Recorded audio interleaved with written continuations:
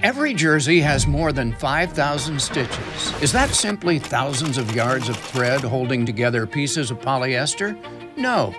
Because when a stitch goes into a jersey, a jersey becomes more than just some sweater. Take this A. Not much on its own, but when it gets stitched right here, and when this, this, this, and this gets stitched right next to it, a stitch becomes the stuff of legend.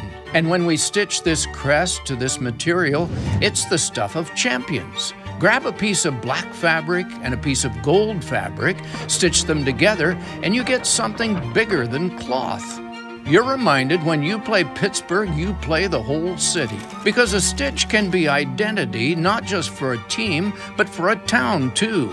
And that means they bind communities and connect generations. They're woven with pride they're obsessed over, so they're strong as the teams, players, and places they represent. Because this is hockey and these jerseys have to be up for it. So we knit and we wash and we cut and we collect so we can stitch. 5,000 stitches strong, making a jersey everything that it is.